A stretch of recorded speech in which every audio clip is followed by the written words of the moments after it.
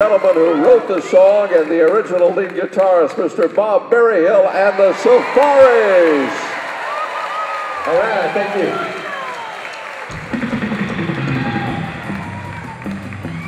All right,